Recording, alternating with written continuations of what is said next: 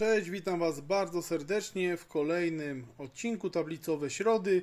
Tak jak obiecałem się, też chciałbym Wam pokazać dosyć specjalną tablicę, a mianowicie, tak jak tutaj widzicie, jest to tablica emaliowana. Tablica, która najprawdopodobniej pochodzi z miasta Krosno. I jak widać, nie tylko tablice amerykańskie mogą być tablicami emaliowanymi.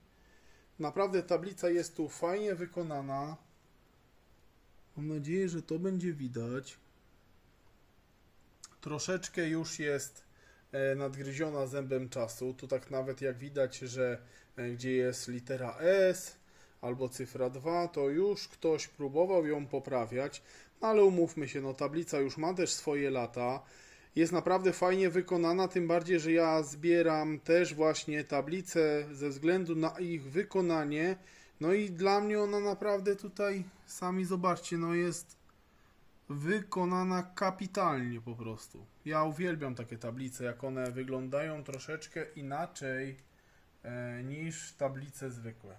Czyli na przykład te, chociaż ta też jest plastikowa i wygląda troszeczkę inaczej. O, tu jest fajne porównanie teraz, gdzie jest te WFU i WGD i jest właśnie ten K KSJ. Naprawdę dla mnie wygląda to super. Ciekawy jestem Waszego zdania.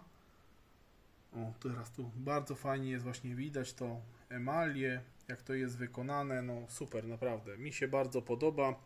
Dajcie mi znać, czy Wy też e, lubicie takie tablice, które są troszeczkę inaczej wykonane. No ja uważam, że jest to naprawdę coś fajnego, a też przede wszystkim jest to fajny kawałek historii.